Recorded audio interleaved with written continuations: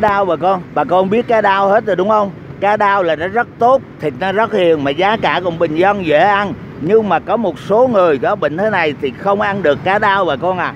Đó là nhà không ăn à, mắt cá đau nha. Mật cá đau não cá đau à, không làm gỏi và không ăn sống. Còn người có bệnh thì bệnh gút viêm lét dạ dày. Đó thói à, vị hành viêm túi mật viêm tụy bệnh về mắt là không ăn được cá cá đau.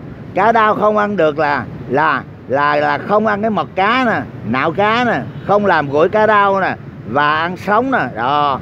Còn người có bệnh thì bệnh gút nè, viêm lét dạ dày thói vị hành, viêm túi mật, viêm tụy, bệnh về mắt là không ăn được cá đau. Hãy càng ăn thì nó càng bệnh nặng thêm nha bà con. Đi bác sĩ nhiều thêm, tốn tiền nhiều thêm, mất sức khỏe nhiều thêm bệnh tăng tăng tăng tăng tăng nặng chứ không lợi gì hết. Mong bà con ta đừng ăn cá đau với những người đó còn lại là tốt.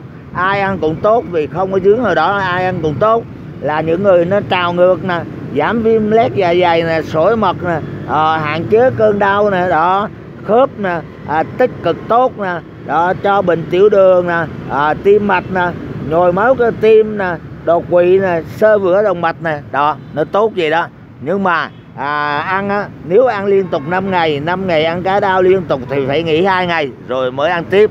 Nha bà con chúc bà con ta ăn cá đau vui vẻ mạnh khỏe. Bà con ơi bà con ơi bà con ơi.